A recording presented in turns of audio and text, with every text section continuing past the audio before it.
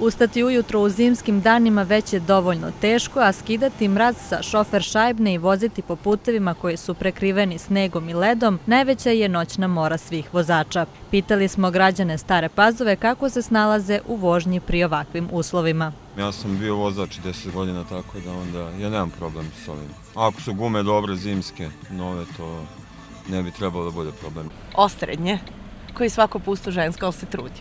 Sa zimskim gumama drugče ne može.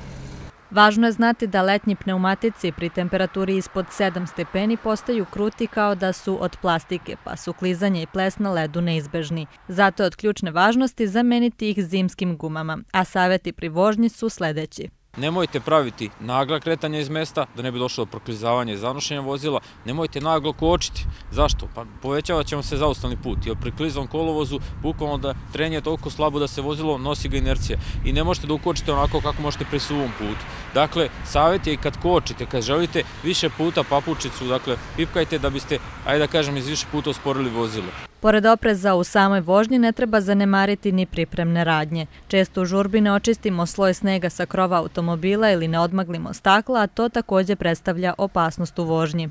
Pet minuta tu možemo značiti ceo život pripremite vozilo, upalite ga, proverite da li je sve ispravno, skinite obavezno.